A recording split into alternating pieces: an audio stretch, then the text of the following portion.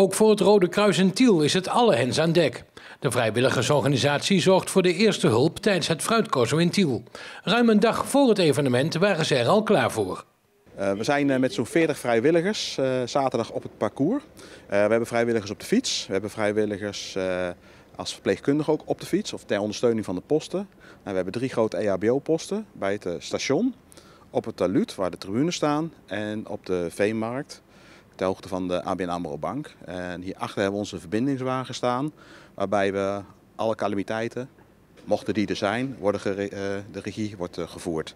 Daarbij is de OVDG van de geneeskunde ook aanwezig, die uiteindelijk verantwoordelijk is voor het hele parcours met betrekking tot de veiligheid.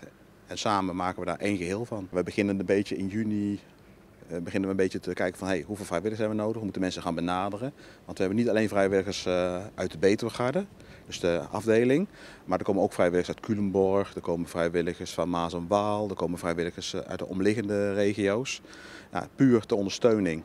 En dat is natuurlijk mooi dat je vrijwilligers hebt van het Rode Kruis uit Midden-Nederland die elkaar ondersteunen.